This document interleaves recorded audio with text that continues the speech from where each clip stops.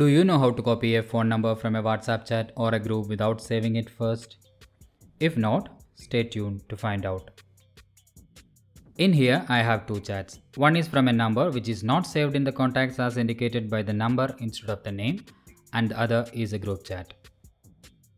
This group chat was created with two other numbers, again, none of them is in the contacts.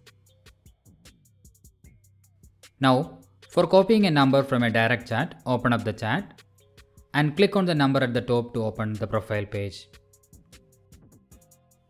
And in the profile, look for the phone number section where the number is again written. This is our target. Now long press on the number to copy the number to the clipboard. A message will appear saying the number is copied and the number is now in the clipboard.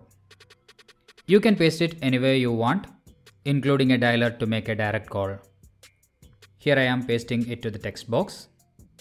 You can see that the number is pasted now on the text box.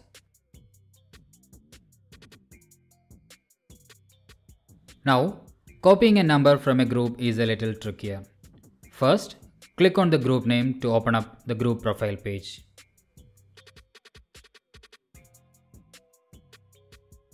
Then press on the number you need to copy. Suppose I want the second number to be copied. Press on that number. From that context menu, select the first one. That is the message to this number. Now you have reached a screen similar to the first method. From here, the method is the same. Long press on the number to copy the phone number to the clipboard.